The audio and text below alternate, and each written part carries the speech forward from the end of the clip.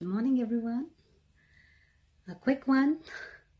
Many times people say ignorance is a bliss. Do you think that way too? As far as I'm concerned, I feel ignorance is a bliss only as long as you are ignorant. Because the moment you find that half truth, it can really be painful. And the most, the, the, the major problem with that is like, you know, because our brain kind of switches into that autopilot mode, which means when you know half the truth, you still tend to cling on to half the lie, which means you keep inflicting pain on yourself. So it's kind of very important to either find the entire truth or stay ignorant.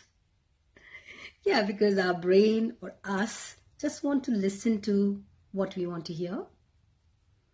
And that's where, you know, it, it becomes like an ongoing cycle of pain up, down, up, down. So it's better to either explore the entire truth or stay ignorant.